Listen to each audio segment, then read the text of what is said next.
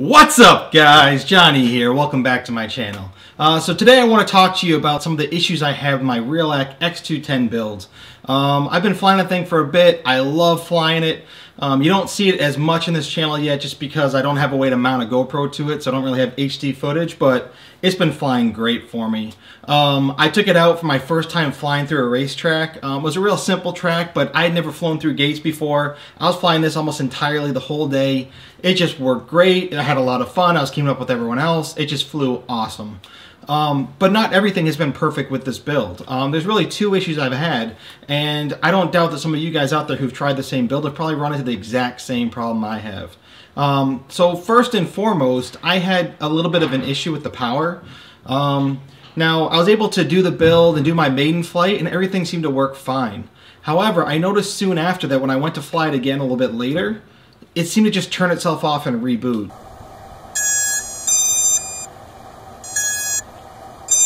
One time I was doing a little bit of a hover test and actually fell out of the sky and rebooted on me. Um, so I was trying to figure out what that could be and how did it work the first time, not work the second time. And so what I think it ended up being is that the 5 volt regulator that's built into the Revo that comes with it is really not that good. Um, you can power the flight controller with it, but if you try to power anything else, it just might overheat. So I think that's why it actually worked pretty well on the maiden flight. As it was flying through the air, you know, it was actually cooling off the, the voltage regulator, and that's how I was able to power both my flight controller and my receiver. Those are the only two things I was running on the 5 volts. So, after doing some testing, you know, I'd turn it on, I'd wait, it would reboot itself.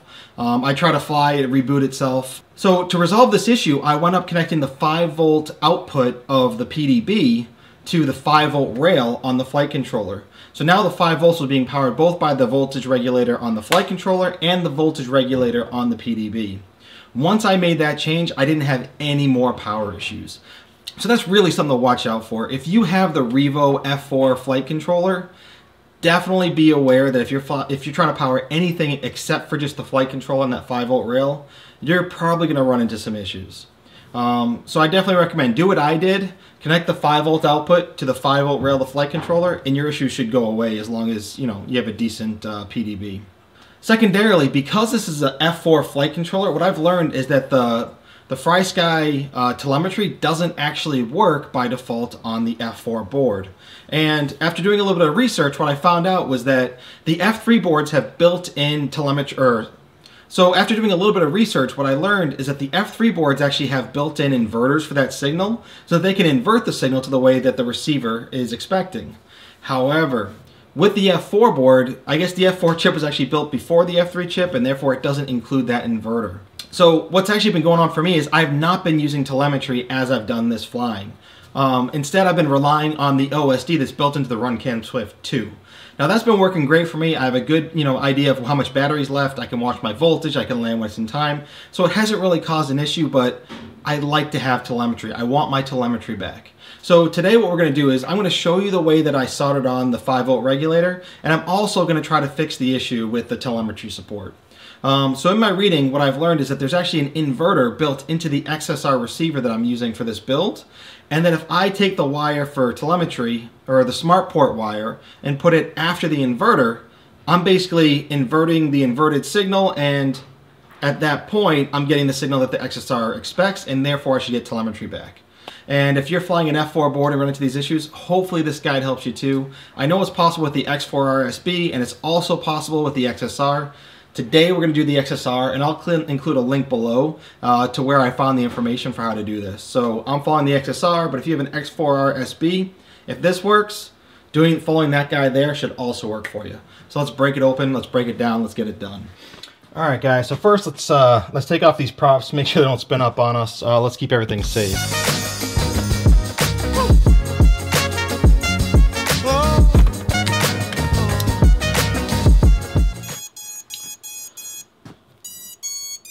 So first we're just firing it up and making sure that we can connect to it, but that we don't see any telemetry. Um, and then we're going to try to solder on the wire like I talked about and see if we can resolve the issue with telemetry.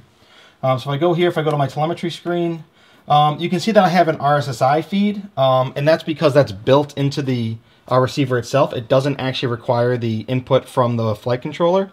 Um, but you see that I don't see any voltage. So even if I arm it, there's still no voltage. So telemetry is not working. Um, let's get this thing opened up and try it out.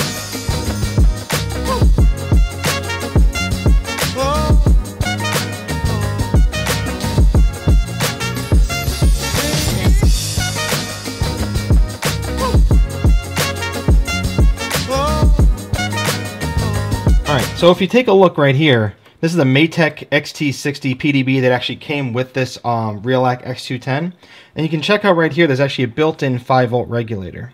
Um, so if we follow this power lead right here, and we bring it all the way up to the board, you'll see that I've wired it in, in line with where the ESCs get plugged in. So that entire rail down the middle of the ESC wires, that's actually a 5 volt input, right? Because if we're running uh, 5 volt BECs on our ESCs, that's where it'd plug in, and so that's a 5 volt rail for the entire ESC. So therefore, by plugging in the one from the PDB into that 5 volt rail, we're supplementing the 5 volt power that's on the built-in regulator with the regulator of the PDB. And like I said, that solved all my power issues. So if you're trying to, you know, plug something in here like I am with my receiver, where it's plugged into the 5 volt rail, make sure you have supplemental power that can also power it. Um, alternatively, what I could have done is actually power my receiver from the 5 volt to the PDB directly, and that would have also alleviated the issue. However, I, think I figured it was a better idea to plug it into the power in case later I add another device that also needs 5 volts. It'll just be simpler if I'm already supplementing the power. This is actually the connector that I currently plug directly into my um, XSR receiver. And one thing that I'm not actually looking forward to is that right now to connect and disconnect my receiver, all I have to do is unplug and replug this in. However, with the change we're about to make, what's actually going to happen is I'm going to need to directly uh, solder this wire here for the smart port directly to um, the XSR receiver. And so what that means is that I'll no longer be able to simply use this connector but instead it'll be permanently connected to this flight controller.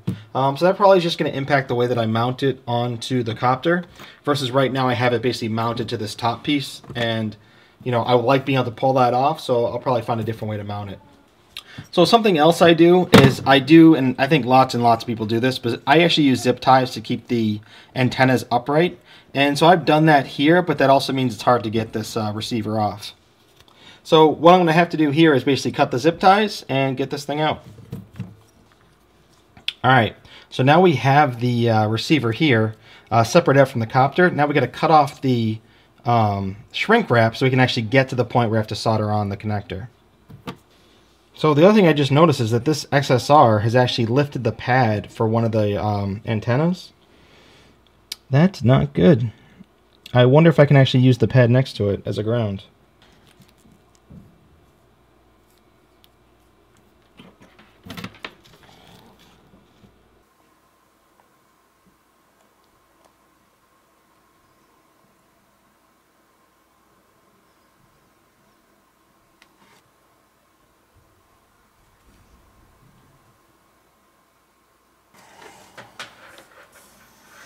All right, that was a little bit of unexpected surgery we had to do. So what I'm to do now is actually plug this back into the copter, make sure I didn't just break this, make sure we still have signal, um, so we know that if I do break something later, um, at least wasn't this step. So let's try it out real quick.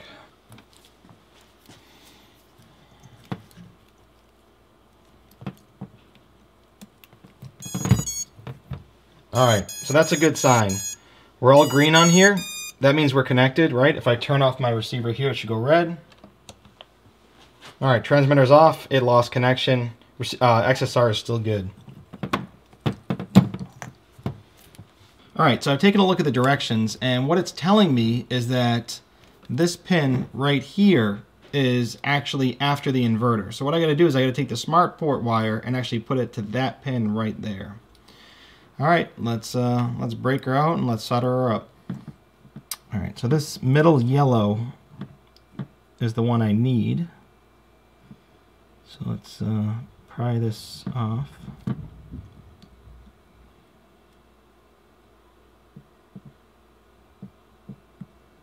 There we go.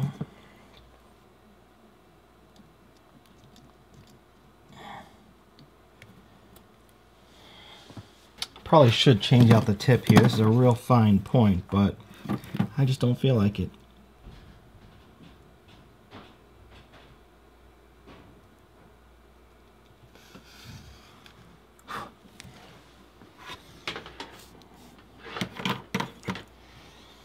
All right. Supposedly that's the right spot. Um, that's the one it shows in the directions. Shows right there at the end of that um, there. And uh, let's plug her in. First, let's make sure we still connect.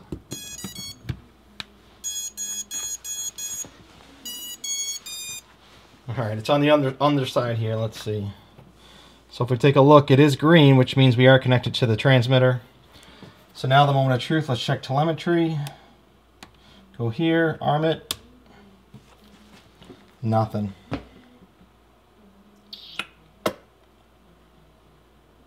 Well, that sucks.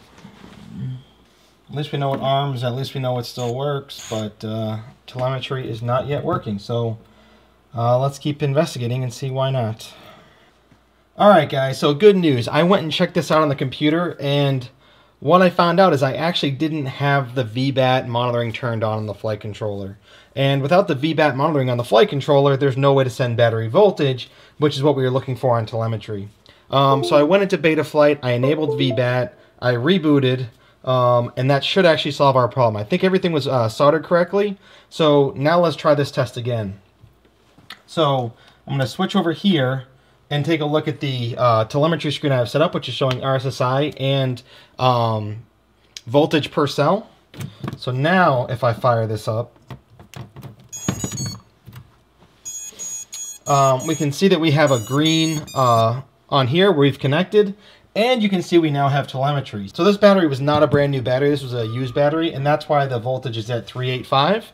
Um, but everything's working. We're getting telemetry on our Revo. Uh, that simple mod solved our problem. We are now good to go. Alright guys, so there we have it. Now that we got this thing back together, we got everything started up, we got our telemetry working, um, power's good, we got our LEDs all set up. Um, let's just go take this thing outside, plug one battery through it, make sure we didn't break anything in the process, and uh, we should be good to go. All fixed up, X210 good to go. So if you have an F4 based uh, flight controller and you're trying to use your uh, FrSky receiver with telemetry, um, follow this, follow the guide I have in the description. Hopefully you too can get it working, and uh, I'm about to have a whole lot more fun now. So thanks for watching, guys, and I'll catch y'all next time. Peace!